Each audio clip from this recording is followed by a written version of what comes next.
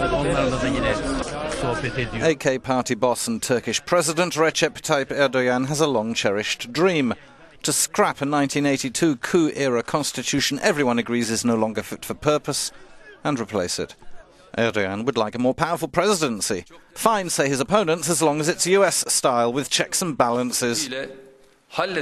Emboldened by his election landslide, Erdogan is pitching his idea.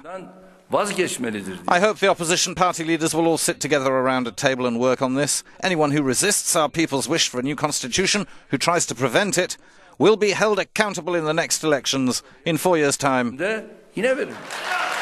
Constitutional reform was not the issue voters flocked to the AK party to support. They want security and an end to instability.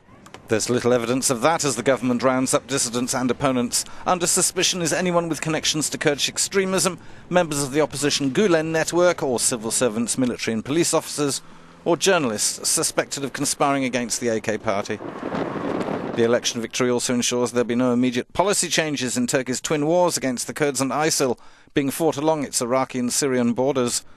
Turkey's allies would like it to concentrate more on ISIL than the Kurds, and while there's more communication than before with Kurdish Peshmerga fighters, the Turkish army will fight the Kurdish PKK on sight.